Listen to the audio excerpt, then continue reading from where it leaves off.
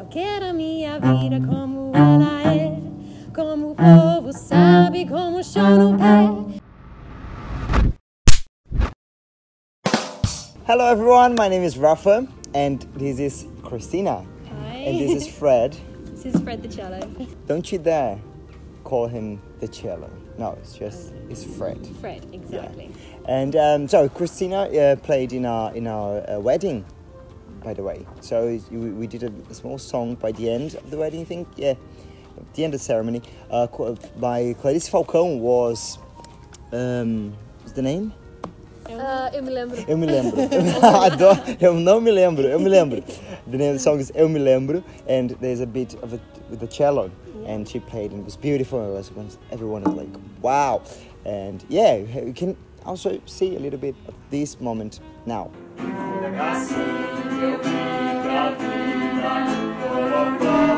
Ela pra mim ali naquela quinta-feira de dezembro.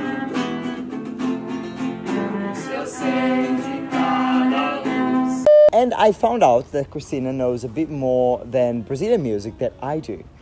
Why? How come? Uh, when I moved back to London a few years ago, I discovered Forró, and there is a really big Forró community in London. And so I started dancing forró. I learned how to dance. um, and then I started listening to a lot of music from Brazil. Like the cello, is, is, is common here to play with the cello in forró? Uh, no, absolutely not. Uh, no. Uh, there is a um, wonderful lady called Agnieszka um, who plays the cello with Forró, Mm. and I saw a few of her videos when she was in Brazil, and I just thought it was amazing, and Uh-huh. she really inspired me to try and play forró on the cello. And you, you and you do. I do, yes. Can you do a little Yeah. bit of one song? Okay, this is uh, a song by Mahines called Desabafo. Okay.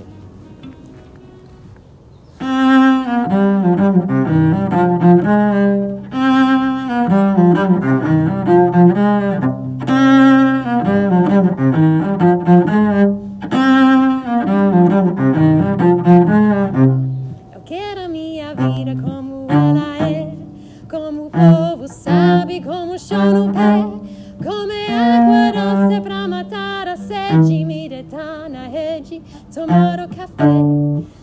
Ser humano. Wow! Because you, you said there's a bit of a forró thing going on in, Lon- in London. yeah. Do you know places? That, can you recommend places for people to go and dance forró? or- Yeah, um, we're lucky in London because we can dance forró almost every day of the week. so we have Forró Family is on a Saturday, and that's in Exmouth Market. Um, we have a lot on Facebook as well. If you put Forró London, we have a group. Okay. Uh, Wednesdays is a great night as well. It's at Juju's Bar in Corbet Place. That's called Forró Brincado. Forró. We have Forró Foundations as well. They do Tuesdays and Sundays every month with live music. Oh, cool. And, and Yeah. did you do telling us uh, uh, jam sessions where you go and play? So yeah, jam sessions is something that I started with my friends who I've met at Forró, and it's for people who, who play for fun. Uh, We're not we're not professionals really, okay. but we gather together and we play lots of Forró. Also things like samba, choro. It's really a free for all, so we play lots of different styles. yeah. Yeah. Cool. And, and do you, because um, I'm sure some people might ask this, Samba I think is more popular that people know this exists. But forró, do people in England, they know or is... Absolutely not. No. No. If you say forró, they say for what? and it's difficult to pronounce. It took me quite a long time Yeah. to say forró. Yeah, and you, you, you did it pretty well, like halfa. It took me time. Yeah. You say half. Halfa. So you've been to Brazil. Yeah, I've been to Brazil twice, and um, Almost more than me.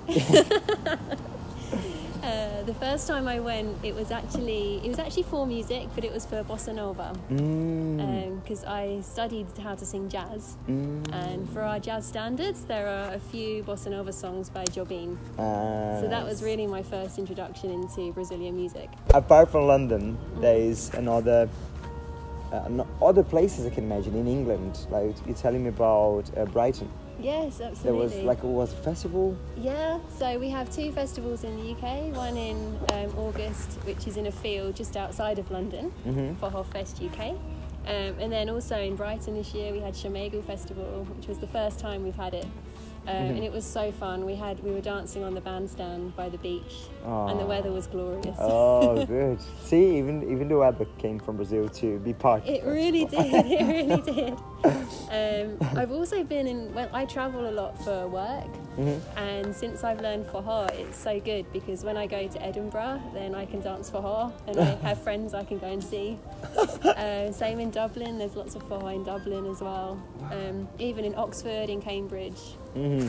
It's, it's- yeah, nice. Good to know. We have no idea at all that it was, was like a thing going on in Britain, and not just between Brazilians, but also like spreading to other cultures. That's Oh, so nice. absolutely. And about um, the cultures of Brazil and the English, what is the uh, most um, important point in the Brazilian culture that like caught you? Everyone's very relaxed. Mm. They're like, oh, don't worry, we'll do it another time. Just everyone does what they want, and they don't worry about what other people are thinking. They just they just go for it. I love that. yeah, okay. and the time, because we have, I don't know if you know this, but in Brazil we have this thing about the time. Like in, Brit- in Britain, everyone is on time, uh, always on time, always. On, do, uh, do you agree with this? Like that in Britain, everyone is on time, and in Brazil is all, also like, oh, let's meet at five o'clock, and everyone turns up to seven. Yeah, I learned this the hard way because my first ever Forró festival, it said it started at seven, so I got there at seven, and I was the only person for about an hour.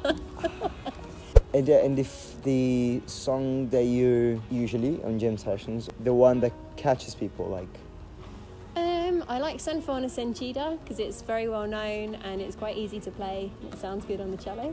ah, okay, can, you, So, can you play that? Of course.